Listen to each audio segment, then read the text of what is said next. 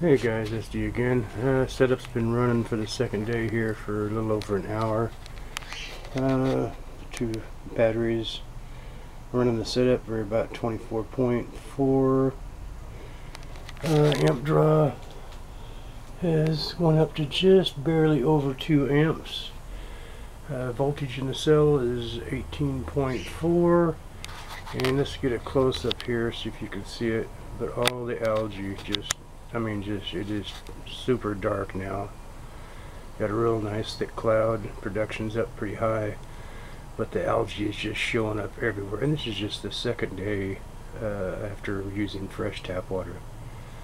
So uh, I think I'm going to try to do is uh, rinse the cells off clean the container up real good and give this same try but use uh, distilled water. See what kind of reaction I get to that. Maybe the distilled water won't build up the algae but you can definitely tell.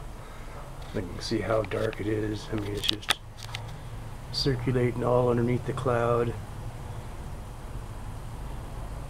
Really dark.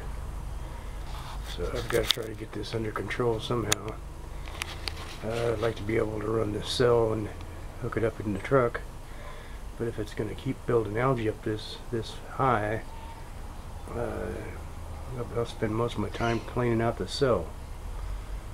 I don't know if guys that are running their dry cells in the setup still have a problem with algae buildup and have to rinse their setup out or if it's just a, a problem throughout uh, with everybody's cell. Uh, we've got to figure out some way of getting it in check. Got somebody remodeling a home here close. Anyway, you can see the uh, algae circulating in there. Uh, it's not so much up on top of the uh, hydrogen cloud. You can see the hydrogen is kind of boiling in the algae. It must be a little bit heavier and it's sitting underneath there. But let me post this on there so you can compare it to what it looked like when we first started up. Alright, we'll see you later.